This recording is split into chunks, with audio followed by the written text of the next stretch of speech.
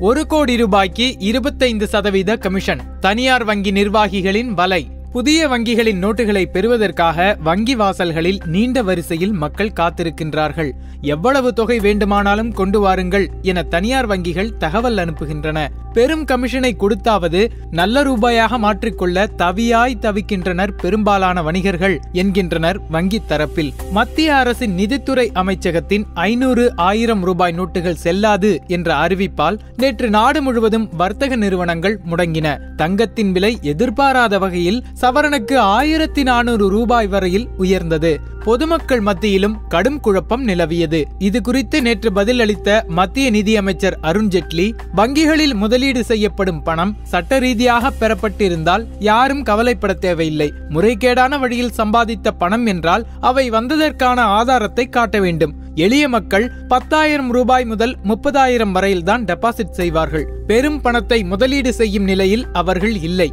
முதல் இரண்டு வாரங்களில் குறைந்த அளவு ரூபாய் நோட்டுகள் சப்ளை செய்யப்படும். மூன்று வாரங்களுக்கு பிறகு அதிக அளவில் புதிய ரூபாய் நோட்டுகள் விநியோகம் செய்யப்படும் என விளக்கினார். அரசின் அறிவிப்பு வெளியான சில மணி நேரங்களுக்குள் வாடிக்கையாளர்களுக்கு குறுந்தகவல்களை அனுப்பத் தொடங்கின பொதுத்துறை வங்கிகள். இந்தியன் வங்கி அனுப்பிய தகவலில் வாடிக்கையாளர்கள் தங்களிடம் உள்ள ஐநூறு மற்றும் ஆயிரம் ரூபாய் நோட்டுகளை நான்காயிரம் ரூபாய் அளவுக்கு நவம்பர் பத்தாம் தேதி முதல் இருபத்தி நாலாம் தேதிக்குள் மாற்றிக்கொள்ளலாம் என அறிவித்தது கனரா வங்கியும் ஆன்லைன் பரிமாற்றத்தை பயன்படுத்திக் கொள்ளவும் என விவரித்திருந்தது. ஆனால் சில தனியார் வங்கிகள் அனுப்பிய குறுந்தகவலில் உங்களிடம் எவ்வளவு எண்ணிக்கையில் ஐநூறு ஆயிரம் ரூபாய் நோட்டுகள் இருந்தாலும் டெபாசிட் செய்து கொள்ளலாம். உங்கள் வங்கி தேவைகளை நாங்கள் பூர்த்தி செய்கிறோம் என தெரிவித்துள்ளன. எவ்வளவு வேண்டுமானாலும் பணத்தை கொண்டு வாருங்கள் என தனியார் வங்கிகள் தகவல் அனுப்புகின்றன. முறைகேடு நடப்பதற்கான வாய்ப்புகள் இருக்கிறதா என இந்திய வங்கி ஊழியர் சம்மேளனத்தின் பொதுச் செயலாளர் சி பி கிருஷ்ணனிடம் கேட்டோம்.